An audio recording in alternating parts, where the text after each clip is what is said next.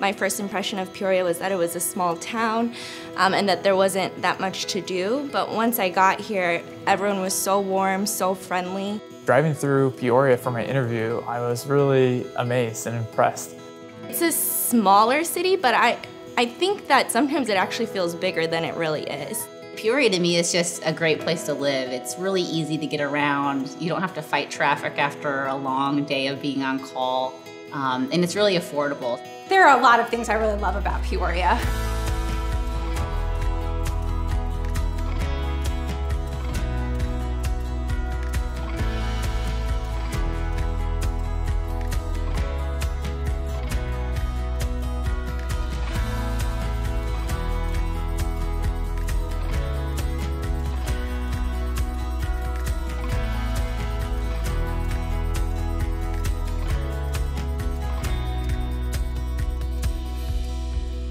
As a family, we love to go out and go to orchards. We love to come to the Riverfront Museum.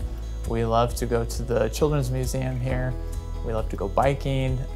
So I love how easy it is to get around. I love the convenience of the community. There's affordable housing. I can truly say it's the best of both worlds. You have a lot of the big city amenities without the traffic, which is awesome.